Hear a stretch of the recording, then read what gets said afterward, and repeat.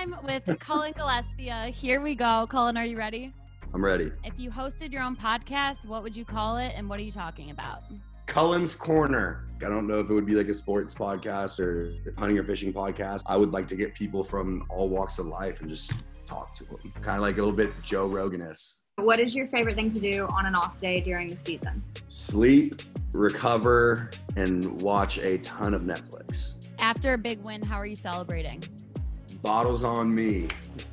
If you were going to trade jerseys with any pro athlete, any sport, who is it going to be? LeBron James.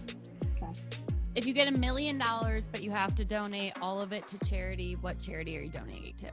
Probably like St. Jude Children's Hospital. What is your pregame ritual like? I'm pretty chill and I'm listening to like country music, like real slow. Just chill out. Got My kind of guy.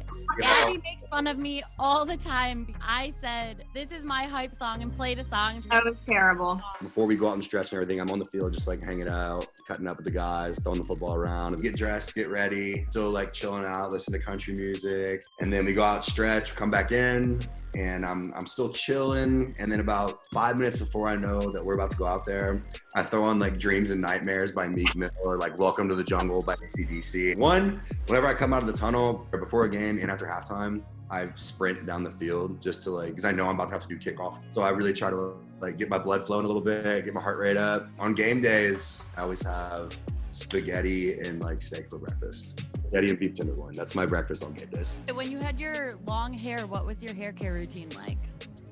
I still have it. It's just kind of like gross right now. Hair care routine. you know what?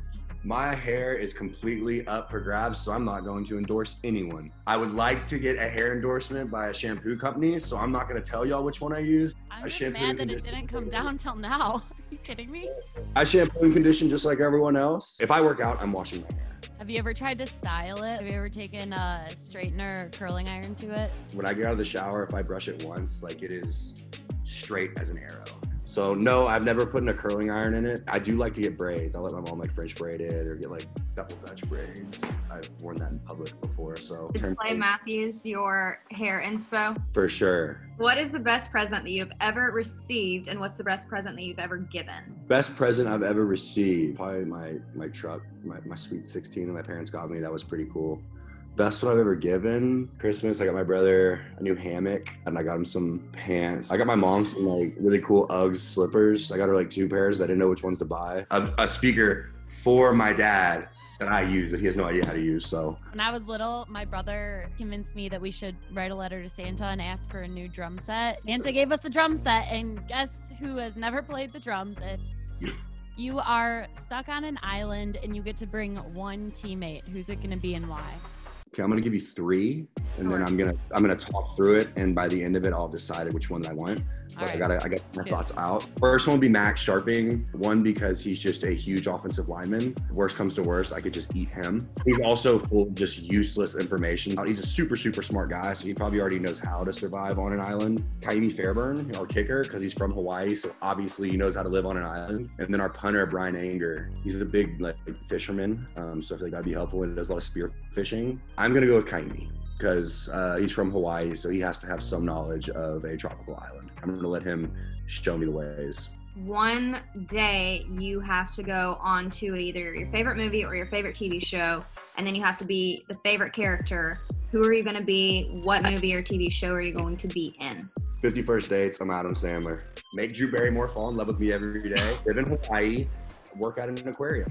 Being Jon Snow would be pretty cool. I'm going to be Jim from The Office. Your only highlight on Instagram is titled Ha Ha Ha Ha Ha, a middle school quote that says, Why do girls care so much about boys being immature? Are you still wondering this or have you figured it out? I mean, we have acted for the last hour on this podcast. Um, I, I don't I don't understand why. I, mean, I, I don't get it. I also don't know why I said that in seventh grade yearbook. We'll talk later about that one. We'll give you some tips. yeah, I need to.